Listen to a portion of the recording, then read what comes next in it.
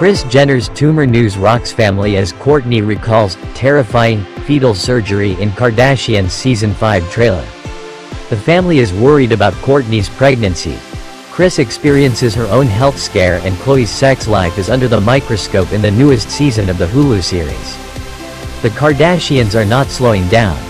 Between their growing families, new career ventures and juggling their 13 kids and grandkids, the world's most famous family has had a busy year and they're about to let fans in on everything that went on behind the scenes.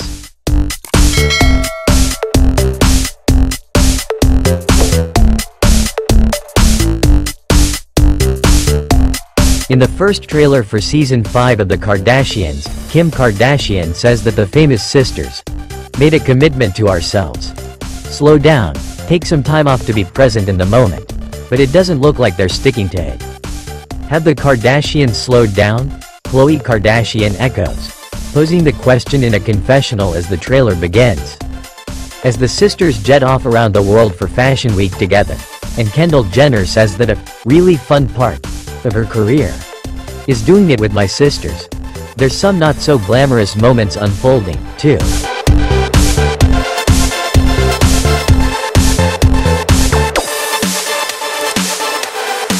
Khloé, 39, elects to stay home while the whole family is out of the country, as Kourtney Kardashian Barker is, at the very end of her pregnancy, and expecting her first child with husband Travis Barker, a son, Rocky, who they welcomed in November.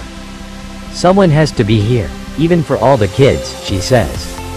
Kourtney Kardashian in the hospital for emergency fetal surgery in the trailer for season 5 of The Kardashians.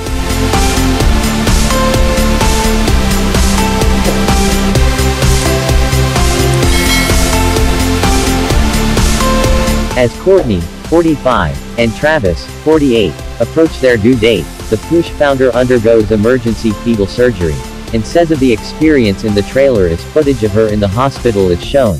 I had to go in for fetal surgery, which was terrifying. That's what we can convey. Don't forget to like, comment, share and subscribe, so that we are enthusiastic in conveying other trending news. Thank you.